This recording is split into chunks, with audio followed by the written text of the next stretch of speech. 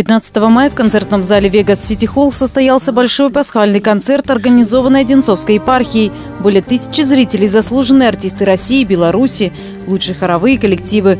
На концертной площадке выступили и одинцовские артисты. Театр Натальи Бондаревой представил уникальный проект – коллекция костюмов храмы России. Зрителей поразила глубина и филигранность вокального исполнения партии заслуженной артистки России Натальи Бондаревой.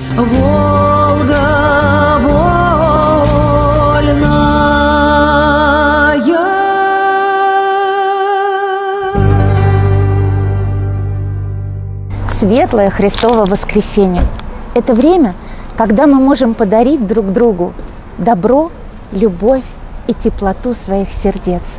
Христос воскресе! Воистину воскресе! Мария Шматкова, Олег Васильев, телекомпания «Одинцова».